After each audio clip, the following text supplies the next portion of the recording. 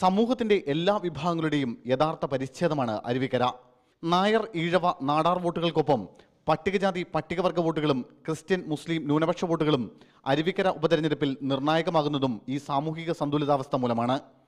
എങ്കിലും സാമുദായിക വോട്ടുകളുടെ കണക്കെടുക്കുമ്പോൾ ആകെ വോട്ടുകളിൽ നാൽപ്പത്തിനാല് ദശാംശം എട്ട് ശതമാനവും കൈയടക്കിയിട്ടുള്ള നായർ വോട്ടുകളിൽ തന്നെയാണ് ഇരു മുന്നണികളുടെയും ബി ജെ പിയുടെയും കണ്ണ്. എഴുപത്തിരണ്ട് കരയോഗങ്ങളിലും മുന്നൂറ്റഞ്ച് വനിതാ സ്വയം സഹായ സംഘങ്ങളിലുമായി ഈ നായർ വോട്ടുകളിൽ എഴുപത്തഞ്ച് ശതമാനവും എൻ എസ് എസിന്റെ കീഴിൽ തന്നെയാണ്. പരമ്പരാഗതമായി യു ഡി എഫിനെ പിന്തുണയ്ക്കുന്ന നായർ വോട്ടുകളിൽ ഇത്തവണ ധ്രുവീകരണം ഉണ്ടാകുമെന്ന പ്രതീക്ഷയിലാണ് ബി ജെ പിയും എൽ ഡി എഫും. മുപ്പത് ശാഖകൾക്ക് കീഴിലായി മണ്ഡലത്തിൽ നാൽപ്പത്തിരണ്ടായിരം വോട്ടുകൾ തങ്ങൾക്കുണ്ടെന്നാണ് എസ് എൻ ഡി പിയുടെ അവകാശവാദം.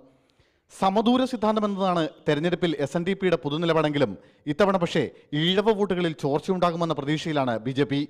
അത് പക്ഷേ തിരിച്ചടിയാവുക എൽ ഡി എഫിനായിരിക്കും. ഇപ്പോഴേ കാലാകാലങ്ങളിലുള്ള ഈ ഇടതുപക്ഷത്തിനുള്ളിലുണ്ടായിരിക്കുന്ന പരസ്പര അഭിപ്രായങ്ങളും വ്യത്യാസങ്ങളും ഇതൊക്കെ തന്നെ സാധാരണപ്പെട്ട അതിന്റെ തിയറിക്കലായി മനസ്സിൽ വന്നിരുന്ന മനസ്സിൽ വന്നിട്ടുള്ള പല പാരമ്പര്യമായ കമ്മ്യൂണിസ്റ്റുകാർക്ക് മനോവേദനയുണ്ട് എന്നാണ് അവരിൽ നിന്ന് പലരിൽ നിന്നും നമ്മൾ അറിയാൻ ഇടയായിട്ടുള്ളത്. അത്തരത്തിലുള്ള ആളുകളെല്ലാം ഇത് മനമെടുത്തിരിക്കുന്നത് കൊണ്ട് ഒരു രാഷ്ട്രീയ ധ്രുവീകരണം ആ നിലയ്ക്ക് ഉണ്ടാവാൻ സാധ്യത കൂടുതലാണ്.